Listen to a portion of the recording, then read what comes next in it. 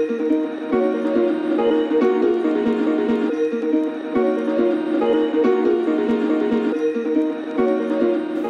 how's it going guys? Welcome back to Cooking in Jewett's Kitchen. You're in my kitchen.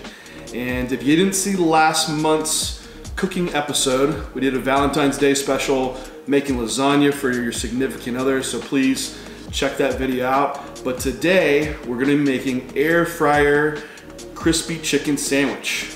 So let's get into this one. Everyone loves a good crispy chicken sandwich, whether you're going to Chick-fil-A or some special restaurant. Um, it, it's a meal that a lot of times will be really high in fat because you're having to fry this chicken breast. So we're gonna utilize the air fryer and really limit the fat. So you can fit this within your current off-season diet and it'll just match your macros. And technically, we're matching macros, it's not, not really a cheat meal, opposed to like you going out and eating something and not being able to control those calories. So, here's our spread. This is what you're gonna need for this recipe. Uh, for the buns, I chose an onion bun, which uh, these have a little bit higher fat in them. Uh, for each bun, it's 42 grams of carbs, six grams of fat, and uh, I'm sorry, six grams of protein and four grams of fat. So keep that in mind when you're looking for your macros and you're looking at your meal, that you might choose a bun that's lower in fat, or you can, you can find buns that are even higher in carbohydrate if you really need to. And that also comes down to bun size. So if, if you're limited on carbs, you could find like a thin sliced hamburger bun and limit your carbs that way. Uh, or you can find just a really large bun if you need to bulk up your carbs if you're, you're having a, a lot more calories in your diet. So that's our buns. Uh, we do just have chicken breast out. So I've already pre-cut some raw chicken breast. It's about eight ounces uncooked which uh, roughly calculated that's going to be about 50 grams of protein. So I weighed those out uncooked so I know beforehand because once I have my flour and egg mix and everything on them, it'll be a lot harder to weigh it out to know what the macronutrients are. So for speaking of the mix, your mix that you'll need, you'll need, you, we have self-rising flour. Um, you could use just all-purpose flour, will, will be perfectly fine. Uh, so you'll definitely be adding some direct carb sources to your chicken breast. And then also, to make it stick, we have just one egg placed into a, a container, and that's gonna be enough for about eight ounces of chicken. As far as the flour that's weighed out, um, since we've made this before, we know that it's about 40 grams of flour, which is just a little over a quarter cup of flour. And, and I'm, gonna, I'm, gonna, get into this, how we do these macros for this, because um, a lot of people know like, well, you put your flour on, how do you know how much flour you're putting on to count those macros in? So we'll get into that. Uh, seasonings that we're gonna be adding into our flour will be a quarter teaspoon of salt and a quarter teaspoon of pepper. Again, that's kind of just a taste, but that's what we had measured out. Um, then we'll also have a half teaspoon of garlic powder and a half teaspoon of cayenne pepper. Cayenne pepper, I mean, really all, the, all these seasonings are optional, but the cayenne pepper is definitely gonna add that spiciness to it. So if you want a spicy crispy chicken sandwich, add in the cayenne. Other things you might need, and again, these, these last ones are gonna be optional for you, but a lot of chicken sandwiches have pickles. Pick the pickles that you want if you wanna do like dill or chips. Um, we just sliced up some dill pickles that we had on hand, so we can have those for a sandwich. Also for sauces. Uh, a lot of times with crispy chicken sandwiches, there's different mayonnaises you can do. What I like doing is a mustard and barbecue sauce combo. It kind of gives a, a, tangy sweet sauce to your, your, um, your chicken sandwich. And we just pre-mix it up. I use about 30 mils of the barbecue sauce, which is like two grams of carbs. This is G. Hughes barbecue sauce. It's a, a very low calorie, low carbohydrate sauce. Uh, for every two tablespoons, it's like two grams of carbohydrates. So you're not adding a lot of calories in.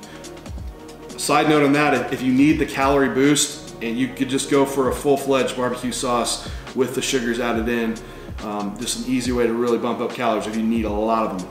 So uh, the mustard I don't count macros on because it's, it's no calories added to it. And we add a little bit of stevia to it just to give it some extra sweetness. Last one that I'll bring up too is avocado.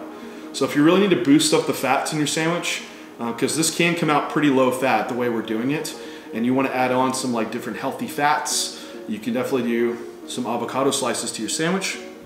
And one I don't have out, but I just leave it as an option, is you could add, if you need to add fat, more fats in, you can just add more cheese.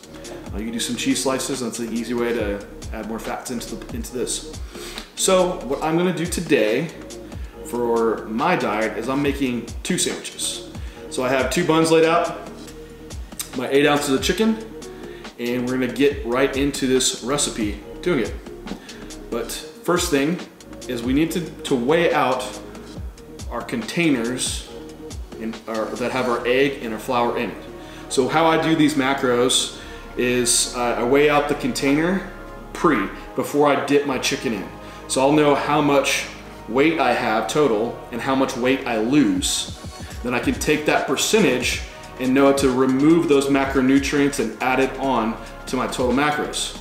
And I'm gonna show you on my whiteboard how I do the math. So I know that sounds confusing with me explaining it.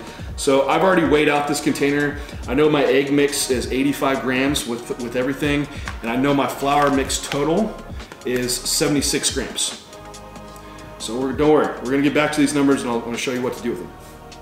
But let's go ahead and, get started. So we'll have our egg mix, our flour mix, and we're gonna need our air fryer. Before we dip our chicken in, we're just gonna mix our seasonings into our flour.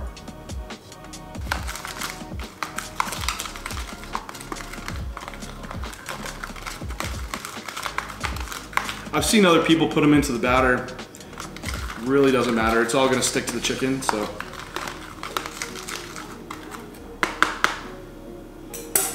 Right. Before we put our chicken breasts in, we're gonna spray our air fryer with, with a, just a, a slight coat of olive oil so all that breading doesn't stick to it. So we take our first chicken breast, we're gonna coat it in our egg batter. Once we have it thoroughly coated, we move it to our flour.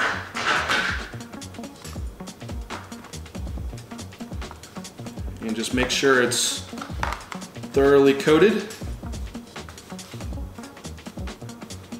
All right, once we have that, we just move it right into the air fryer.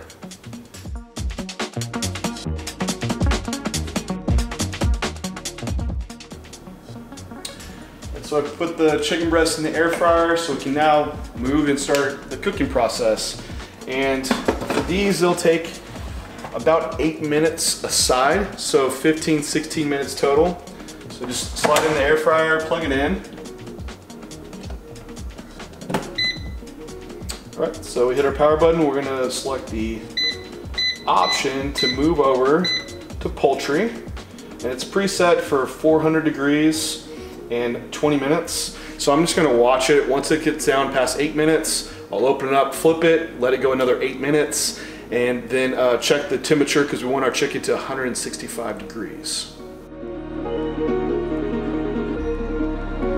All right guys, while the chicken is cooking, we're gonna weigh our containers post chicken to see how much weight we lost, and then we can calculate what the egg and flour mixture we put on our chicken was, and we can get a, a pretty good estimate on, on what our total macros would be. So we tare our scale out, weigh our egg mixture, 73 grams. And that was 85 grams. So I mean, you're really not adding a lot in with the egg or the flour. Our flour mix, 65 grams after. So 76 grams before. I'm gonna take y'all to my whiteboard. We'll do some math and I'll show you how, how to do this for macros and then we'll total them up for the, the whole meal. All right guys, so we're gonna get, get nerdy and do some math. I'll show you how to do your, your macros. So I have my, my container, that was my container and my egg that I weighed out. So that's 85 grams. That one egg, I know the macros for, right? Six protein, five fat.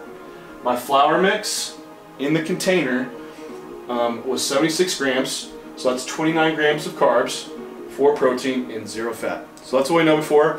We dipped our chicken in, and now we lost weight, right? So it's down to 73 grams on the eggs, 65 grams in the flour. So I'm to show you how to do the math on one of these. And it's really easy. So what you'll do is take your post number, so we're to do it up here, 73 divided by your pre-number. 85. And I, and I already know what these math comes out to.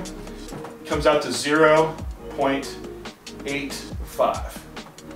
And so what we'll do is just do 1 minus 0.85 because this is what we're going to get for how much percentage-wise we added onto the chicken. So this is 15%.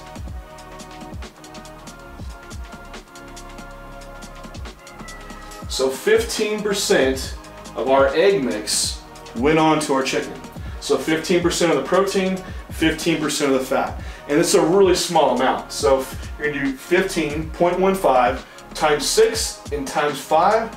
So your new macros for this total meal, the total chicken that I'm using, I'm gonna round this to one and one. So it's really close. It came out to like 0.8, 0.7 something. You're gonna do the same math for your flour. And actually these numbers are really, really similar because this one comes out really close to 15% also. And so these new macro numbers, I have my math, comes out to four carbs. I'm gonna round this to one protein and zero fat. So now we know how much flour and how much egg was added to our total meal. So now we can figure out our total macronutrients for the entire meal. All right, our timer went off for eight minutes. We're gonna open up the air fryer, flip over the chicken, let it go another seven, eight minutes, and we'll check the temperature and make sure it's done. Can see it's already crisping up pretty good.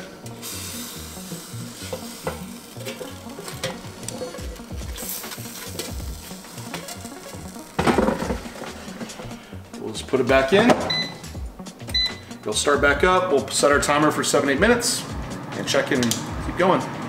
While our chicken's almost done, we'll put our buns in the toaster and, and toast them up. Totally up to you if you want to toast your buns.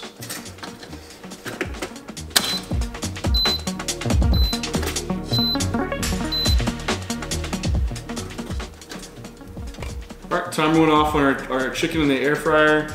It was right about seven minutes. I checked the temp and it was 165, so we're good to go. So we can grab our chicken and construct our sandwiches. So first thing we'll take our mustard, barbecue sauce mix, just give a nice spread.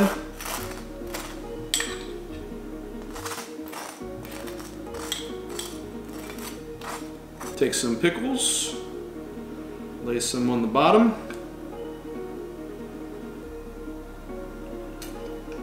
Grab one of our chicken breasts.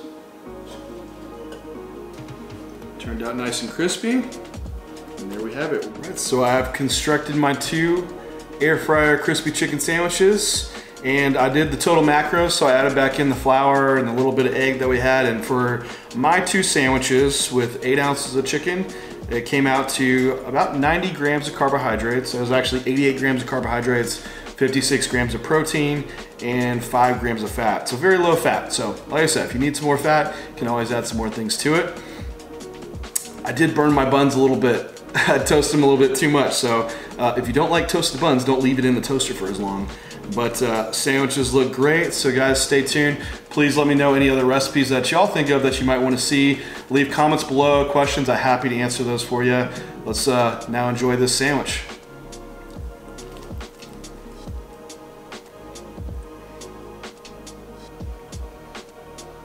Good stuff. Enjoy, guys.